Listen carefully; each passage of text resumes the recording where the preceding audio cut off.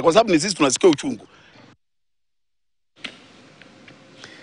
To the Shakahola massacre probe now, and 19 bodies were today exhumed, raising the number of bodies exhumed so far to 303.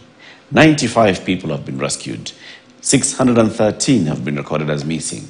Meanwhile, Pastor Ezekiel Odero's lawyer walked out of a session where the Task Force on Regulation of Religious Groups was hearing submissions from religious leaders in Kilifi County. The lawyers, Danstan Omari and Cliff Ombeta, claimed that they were denied a chance to represent their client. kuwe na hizi zinaitwa umbrella bodies. Umbrella bodies, kila kanisa lililoko hapa liweze kuwa member wa umbrella body registered and recognized by the government. We have been here since nine. Nobody has allowed us to talk. And when we cannot be able to put our views, we started collecting our views by recording the proceedings.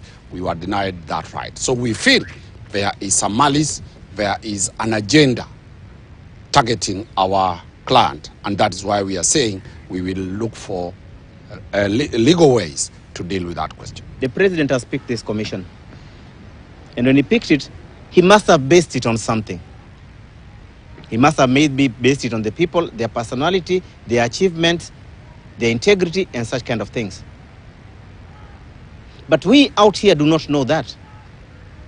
They need to be able to show us that, that they are clean and can be able to handle such a task without being biased, with integrity, and with standards that they have set. Eh, wamechangia sana eh, wat- itafutwe ya kupea eh, umbrella bodies uh, eh, the necessary powers ku, ku, ku, ku, kuangalia mambo ya dini ambazo I mean, madhehebu ambao imekuwa e, e, registered under them. Prime Cabinet Secretary Musalia